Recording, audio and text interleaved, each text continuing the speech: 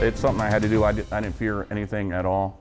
And then once I climbed up there, just assess, keep assessing the situation, and her safety uh, was priority over my safety. We begin tonight at 11 with a state trooper who's being called a hero after saving a woman's life. Good evening, everyone. I'm Bob Donaldson. And I'm Chelsea Helms. She came close to ending her life until that trooper came to her rescue on I 65. He describes that critical moment to CBS 4's Scarlett O'Hara. Not a hero, it's just part of our training, just doing our job. Although State Trooper Joe Malone rejects the label, his community is hailing him a hero anyway.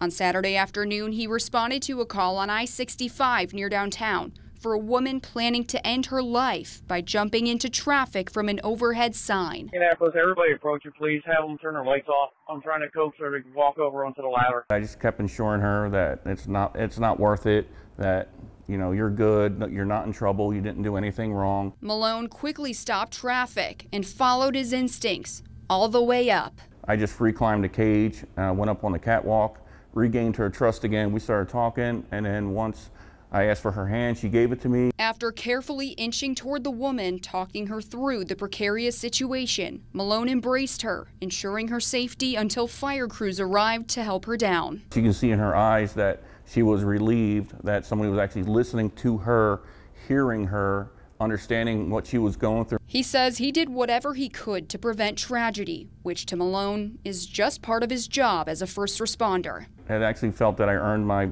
uh, paycheck that day, that we do more than just do traffic stops, crashes, and take people to jail, that we are there to help. He hopes this story serves as a reminder to prioritize mental health for yourself and loved ones. If you know one of your friends, family members, co-workers, anybody that is having a mental crisis episode, try to get them help that they need and deserve before something like this happens. In Indianapolis, Scarlett O'Hara, CBS 4 News.